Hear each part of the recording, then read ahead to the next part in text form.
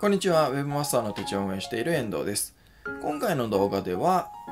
オウンドメディア、Web メディアでですね、えーアクセスアップをするとき、アクセスアップをしたい、えー例えば記事を公開しているんだけれども、なかなかアクセスが集まらないっていうような時に、まあ、どうしたらいいかと、どういうところをちょっと見直したらいいか。っていうところのお話をしたいと思います。で特にですね、本当は基本の木のところなので、もう温度メディアとかそういうブログをやってます、ある程度やってますっていう方にとってはですね、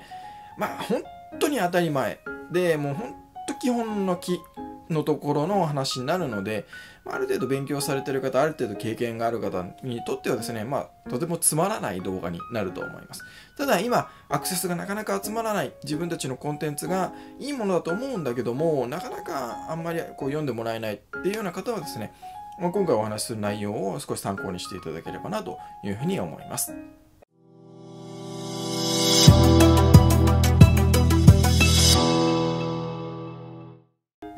ディア、まあ、ウェブメディアというか企業のブログでアクセスが集まらないっていう時、まず大前提としてですね、それやっぱり記事のそのコンテンツの質っていうものを見直していただきたいんですね。あの、やっぱりそこが大事。そこが、あの、すべての根幹の部分ですので、やっぱり記事の内容が、あ低い、まあ、質が低い、まあ、例えば情報量が足りてないとか、えー読みに来てくれた人がちゃんと最後までね、えー読んで、まだなんかこう、もやもやするなとか、ちょっとなんか物足りないなっていうふうに思っちゃうような内容とか、記事で、えーあるとやっぱり問題かなと思いますので、まずはそういったところがクリアされていること、え記事のコンテンツの質っていうところですね。そこがちゃんとできている、まあ、読みに来てくれれば、しっかり満足させる自信があるというようなことがまず大前提だと。いうふうに思ってください。で、そこからですね、そこから、そこから、まあ、今回お話しするのは2つ、2つのところをちょっと改めてチェックをしていただきたいなと思うんですが、まず1つ目がですね、やっぱり一番大事というところで、記事のタイトルですね。えー、本当当たり前なところなんですが、この記事のタイトル、本当に大事です。あの、私もですね、やっぱり勉強していた頃、えーウェブサイト制作の修行をしていた頃、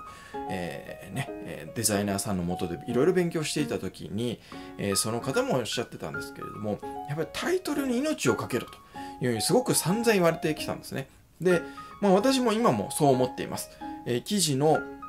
えポテンシャルを発揮する。せっかくいい記事も読まれなければ意味ないですのでそれをちゃんと読んでもらうためにも、えーそのタイトルってものにはすごく重要すごく命をかけるぐらいのですねやっぱり心持ちで、えーそのタイトルを考えています。で、まあ、タイトルがどれぐらい大事かっていうとですね例えば、まあ、あの何かね B2C とかで、えーま、商品え特にま飲食系とかもそうなんですけどそういう商品を売ってる会社の方であればパッとイメージつくと思うんですが商品の商品タイトル商品名ですね。商品名っていうのがいわゆるブログ記事でのタイトルと同じです。やっぱりそのせっかくいい商品すごく便利な商品いろんな人を喜ばせられる商品なんだけれども商品名がダメだとやっぱりその商品って売れませんよね。それと同じでやっぱり記事のタイトルが悪いとどれだけ記事のコンテンツの内容が良かったとしてもやっぱり読まれない。っていうことになってしまいます。なのでそのやっぱりタイトルっていうのはすごく大事。なのでそこはえ本当に今のタイトルでいいのかなっていうのを改めて見直していただきたいと思います。私もですね Webmaster の手帳で未だになんですけれどもやっぱり記事のタイトルっていうのは修正することがあります。あのそれは記事のタイトルページのタイトルって一回決めたら一回公開したらそれじゃなきゃいけないっていうルールはありませんのでやっぱりその適時修正をするっていうことは必要なんですね。なのでやっぱりこうある程度こう記事のタイトル、まあ、ガラッと変えちゃうとあれだと思うのでやっぱりそのね使ってる言葉だったりえ言い回しだったりそういったところで、え修正をするってことは私でもありますので、まあ、そういったところを見直していただければいいんじゃないかなというふうに思います。でこの記事のタイトルを考えるときにですね、えーすごく大事なポイントとしてはその記事のタイトルで、えーその記事のタイトルを見た人が、えー記事を読むっていう行動を起こさせなきゃいけないわけですねそのタイトルで。なのでタイトルを見てもタイトルを読むというアクションまでつながらなければそのタイトルはダメなタイトルなわけですね。でタイトルを見てちゃんとあこの記事読みたいと思って読むというアクションまでえつなぐアクションを起こさせるようなタイトルである必要があります。で、じゃあどういうふうにしたらそのアクションを起こさせることができるかということなんですが、やっぱりタイトルを見て、タイトルを読んで、えー、自分ごとになるかっていうことなんですね。だから記事の内容の、その、まあ、記事が誰のための記事なのか、まあ、ターゲットとなる読者の人がいると思うんですけども、その人にとって自分ごとになるようなタイトルを作らなきゃいけないわけですね。なのでタイトルの中で使う言葉もターゲットとなる読者の人が使っている言葉を使う。え、やっぱりそこで、え、ターゲットのある読者の人がですね、え、使ってない言葉、普段使ってない、普段聞き慣れていない言葉を使ってしまうと、やっぱりそれで自分とはちょっと違う、え他人の話っていうことになってしまうので、どれだけその人の日常の生活で使っているような言葉とか、普段ね、え使っている言葉を使うとか、えそのニーズに刺さるようなあ言い回しとかフレーズを使うとかっていうことがやっぱりすごく重要になっていきます。やっぱり自分ごとになるかどうかっていうことですね。でさらにですね、その記事のタイトルで、まあ、自分ごとにするっていうような時に、さらにもう一個大事なポイントがあってですね、それがですね、記事のタイトルに摩擦があるっていうことなんです。でこの摩擦があるかって何かって言いますと、例えば摩擦がない記事のタイトルっていうのはですね、えー、何かま検索結果、あるいはま SNS とかソーシャルメディアでその記事のタイトルに触れた時に、摩擦がないのでこう、つるっとこう流されてしまうんですね。何にも引っかからないんです。でも摩擦があると、えー、あれなんだろうって言ってこう摩擦によってこう立ち止まったり引っかかりが生まれるんですね。なのでそういう引っかかりが生まれるっていうことが大事です。でまあ具体的に言うと、まあ、ちょっとした違和感とかですね、えー、あまりにもこう普通すぎる内容のタイトルだとやっぱり引っかからないんですね。で興味を持って、えー、もらう。そして読みたくなってもらう。で読みたくなって読むっていう行動が生まれるのでやっぱり最初のその興味を持つっていうところでもタイトルに、まあ、インパクトがあると言いますか、えー、違和感があってあれなんだろう？ちょっと引っかかるな。ん？これなんだろう？ちょっと興味が出るあるなとかっていうこの引っかかりをどれだけタイトルでえ作ることができるかっていうことなんですね。で、この引っかかりを作るために、まあ、いろんなやり方があると思います。えー、例えばね、数字を入れるとか、大事な言葉最初に置いておく、え、引っかかるような言葉を最初に入れておくとか、え、ちょっと強い口調にするとか、あいろんなね、えー、tips あると思うんですけども、やっぱ大事なところ、まあ、その大元というところとしては、やっぱり引っかかりが生まれるというようなところが大事かなと思います。で、もう一個実はあってですね、それがですね、あのタイトルで摩擦が生まれるっていう時でその摩擦が生まれた後ですね摩擦が生まれて、まあ、興味を持ってもらって実際にこう読むアクション生まれるためにはもう一つですね解消しなきゃいけないことがあります。で、その解消しなきゃいけないことっていうのは不安を解消しなきゃいけないんですね。読む人の不安を解消しなきゃいけない。で読む人の不安というのは何かっていうとそのページを読むことによって何が得られるのかと。でそれが分からないとですねやっぱり分からないものに対してやっぱ人は不安を感じるので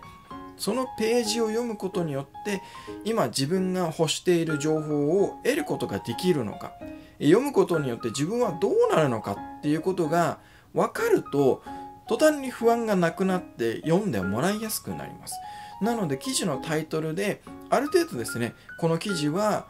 こういう人向けのこういう内容の記事ですよでこれを読むことによってこういうことが得られますよとかこういうふうになれますよっていうようなことを含められるとですねより読んでもらいやすくなる。最初のそのページのタイトルを見て記事のタイトルを見てあ読みたいな読むっていうアクションを起こしてもらいやすくなりますので、まあ、ここら辺ちょっと意識をして、まあ、その記事のタイトルのところではまず1つ目が自分ごとにするっていうこと。自分ごとにする。そして2つ目が摩擦を作るっていうこと、まあ、違和感を作るってことですね。そして3つ目が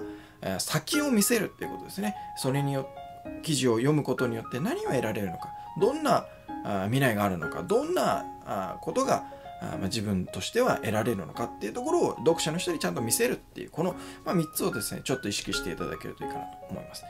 で、えー、記事のタイトル以外にもう一個大事なところがあります。それがですねアイキャッチ画像です。アイキャッチ画像。まこのアイキャッチ画像は、例えばですね、SNS とかソーシャルメディアでシェアされた時に表示される画像ですね。この画像も結構大事です。で、このアイキャッチ画像がどれぐらい大事かっていうと、まあ、最初のですね、話をしてた、えー、商品の商品名がタイトルだったっていうのと同じような、えー、例えをするとですね、商品の商品パッケージ、この商品パッケージが、えー、記事のアイキャッチ画像だと思ってください。そうするとそれと結構大事だなっていうのがわかるんじゃないかなと思います。例えばコンビニとかに行ってですね、いろんなま商品並んでます。で、その商品のパッケージ、まあ、いろんなね、デザインが施されてると思うんですけども、あれが例えば全く真っ白だった場合とか、ね、何かつまらない感じになってた場合に手に取ってもらえる割合がどれぐらい変わるかっていうところなんですけどまあこれ結構簡単にイメージできるかと思うんですけどやっぱりですねその商品のパッケージっていうのは大事なんですね。だかいろんなデザインがされてるしキャッチコピーもいろんなものがあるしすごく考えられて作られてるんですけどそれと同じようにですね記事のアイキャッチ画像っていうのは大事です。なのでこの記事のアイキャッチ画像についてもですねやっぱりえー、本当に今のアイキャッチ画像でいいのかっていうのを考えながらちょっと意識をして作られてみるといいと思います。で、このアイキャッチ画像、まあ、基本的にはタイトルと同じなんですけれども、えー、まず SNS で、えー、まあ、シェアされている時にを想定をするとですねやっぱりこうパッと流れてきた時に目に留まるってインパクトがあってこう目に留まる目を引くっていうことが大事ですのでやっぱりそこはですねちょっと意識をしてあんまりありきたりななんか普通な感じじゃなくてこうインパクトがあって目にこう飛び込んでくるようなアイキャッチ画像とかですね。あとはまあ自分たちの商品とか会社のブランドにと、まあ、統一感を持たせることによってそのブランディングになると思いますしそのね、えー、画像を何回も何回もこう見ることによってああの会社のあの記事だとかあの商品のそのオンドメディアのページだとかですねそういうのがこうパッと思い浮かべるようなそういった統一感っていうものもあるといいんじゃないかなというふうに思います。で例えばですね例えば Webmaster の手帳なんかのアイキャッチ画像の中で必ずまあ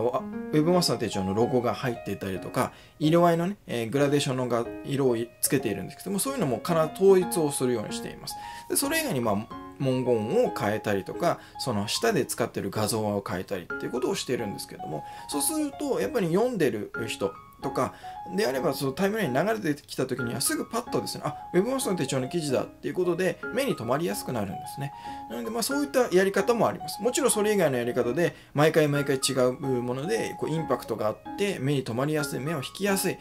ていうものを作るっていうのも当然いいと思います。ただ読むよりも先に目でパッと見た時にこう目を留める目を引きつけるっていうことがアイキャッチ画像では大事だというふうに思っていただければと思います。